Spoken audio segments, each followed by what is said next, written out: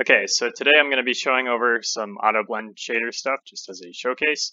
Um, so this is designed as a pipeline for artists to speed up their level design um, and make their work a bit more efficient with a better end result.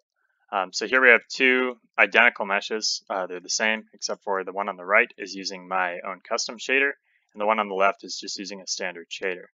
Uh, so if I pull these both down into the terrain here, like we are going to start laying out a level, we can see immediately that the one on the right is automatically blending uh, with the terrain below, and the one on the left is not. This is what you see in most uh, traditional games where we just have a very hard seam, um, and then it just doesn't really look like it fits here, um, versus this where we have a nice transitional phase where we can just drop this into the scene and it will blend automatically. Um, we also have some parameters here, so I can change the distance of the blend as well as the fall off. So here we can see we're just offsetting it up a bit and adjusting the fall off accordingly so we can get kind of a sharper blend or a softer blend. Um, we can also just change the contrast to that a little bit so we can kind of break it up based on the height of the uh, mesh underneath. So um, going over this, basically this projects from the terrain uh, upwards. So if really whatever we do to the terrain will transfer over to this model. So I don't need to vertex paint anything on here. I don't need to copy the terrain shader over. Um, I can really simply just go in and, and paint on this terrain. And if I drag that down, you'll see that it will automatically update that blend. I'm going to make this blend a bit more obvious here. I'm going to make it a really big blend, even though it doesn't look so good, just so we can preview. Um, so if I paint that out, we can see it updates totally fine. Um, and, that, and it's not just limited to these two textures. Uh, I just didn't want to set up a bunch of them. So you can really have any amount of layers that you want, any type of material, um, and it will automatically sort out that blend for you. Additionally, I can also go in here and sculpt.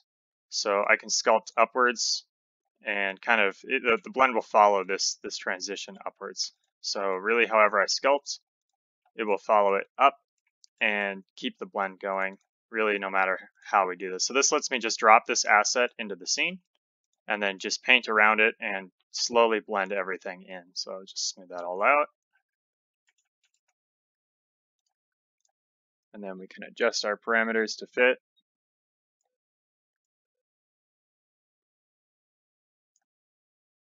And there we go.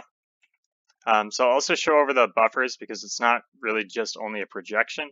Um, we're also getting some pretty cool things going on in the buffers. So if I go into the world normal, this is the most notable one. So if you see the asset on the left here, um, this is just the normals baked from the model in world space. Um, so really we get this hard transition when we put this into the ground of the normals, where this normal is facing upwards and this one's trying to face right. Um, and then we get this hard intersect where the lighting just kind of cuts along this seam. Um, but on this version, we can see that we get this normal correction.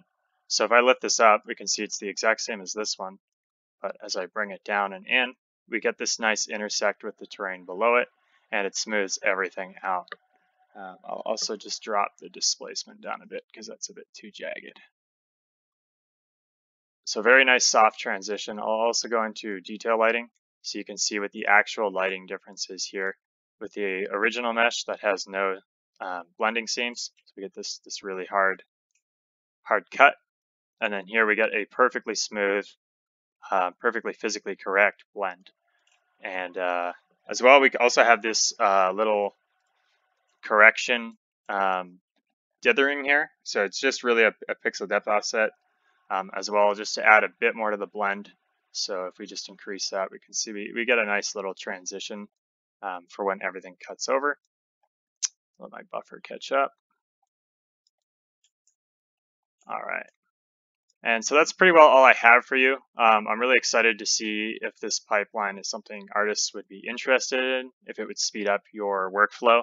Um, so leave a comment if, if uh, this is something that you've kind of been dreaming for uh, in Unreal Engine, um, and if this would actually help you out, or if you think it's just more efficient to go through um, in Vertex Paint, or or just kind of drop things into the scene and stitch them together. Um, but that's all I have for you. Hope you enjoyed.